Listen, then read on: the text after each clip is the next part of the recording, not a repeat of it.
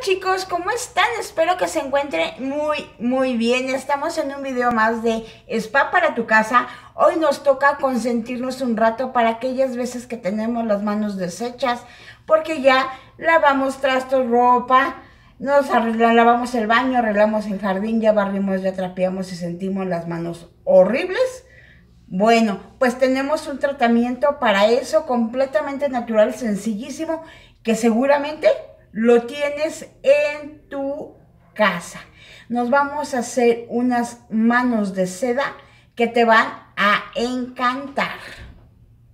Nuestros ingredientes van a ser los siguientes. Vamos a necesitar azúcar granulada, aceite de almendras dulces o aceite de mamey, aceite de oliva, aceite de cocoa, del que tú quieras. Este, este aceitito lo vamos a poder encontrar donde venden productos para salones de belleza, donde te venden cosméticos. Ahí vas a encontrar estos aceites y realmente son muy baratos, económicos. Te cuestan como 10, 15 pesos el frasquito. Son muy económicos. Y limón, limón el que necesites. De esos limones que ya están feitos, que ya se te están haciendo medios duros, esos limones vamos a utilizar. Y lo que vamos a hacer, que voy a poner en la palma de las manos, ya que las tengo limpias, voy a agregar un chorrito de aceite. Voy a agregar limón y voy a empezar a frotar las manos hasta deshacer el limón. El limón nos va a ayudar a blanquearnos un poquito las manos para aquellas que tenemos pecosillas por el sol, nos va a ayudar a blanquearnos la, el azúcar nos va a ayudar como un exfoliante. Vamos a dar, el aceite pues nos va a dar hidratación y suavidad. Lo que vamos a hacer es que vamos a frotar las manos hasta desintegrar el azúcar entre los dedos, en las orillas de las uñas para aquellos pellejitos que luego se nos llegan a formar. Y así vamos a estar dando un masaje por unos 5 o 10 minutitos. Ya que ya hayamos dado un masaje en la palma de las, en las manos, lo que voy a hacer es que voy a agregar más, más limón, más azúcar, limón, más aceite y voy a empezar a frotar desde los codos que luego también los traemos muy resecos. Por eso te recomiendo que lo hagas en el lavadero o en el fregadero para que no ensucies el lavabo o el piso. Y así lo vamos a hacer, dándonos un masaje en los codos y en los brazos hasta desintegrar. El azúcar te van a encantar, te van a quedar unas manos y unos codos de seda.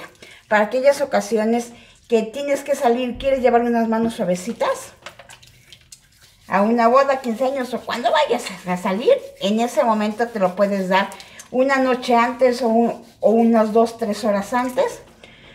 Te recomiendo que lo hagas en las noches, ya que no vayas a agarrar agua, no vayas a agarrar detergente, ya que casi casi te vayas a dormir. Ya que te diste muy buen masaje, lo único que vamos a hacer es que nos vamos a enjuagar muy bien, a retirarte todo lo que nos pusimos. No le vamos a poner jabón, ya con lo que nos pusimos del aceitito. Así nos vamos a dejar y lo vamos a enjuagar perfectamente, que no te quede azúcar por ningún lado. Bien enjuagadito.